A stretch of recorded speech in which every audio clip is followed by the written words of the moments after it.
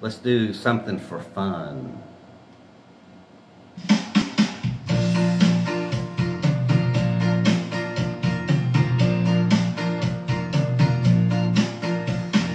Sitting in a tiny table in a ritzy restaurant.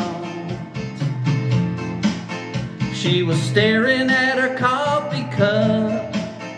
He was trying to keep his courage up by applying booze.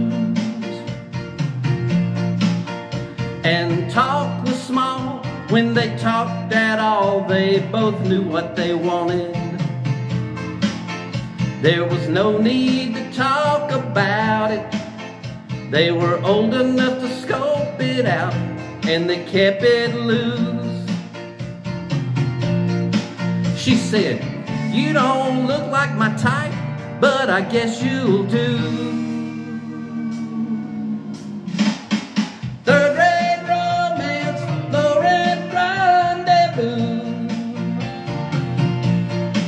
And he said, I'll even tell you that I love you if you want me to.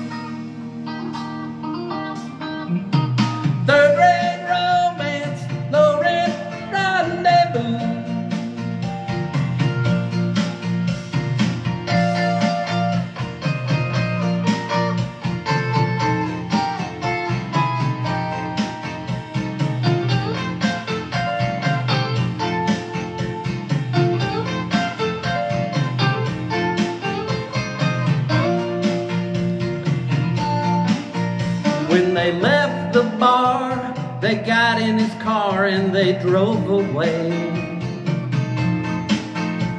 He drove to the family inn. She didn't even have to pretend she didn't know what for. And he went to the desk and made his request while she waited outside.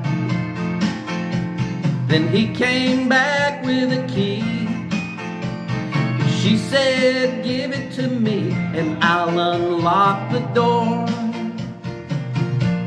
She kept saying, I've never really done this kind of thing before. Have you? Third rate romance, rendezvous. And he said, Yes, I have, but only a time or two.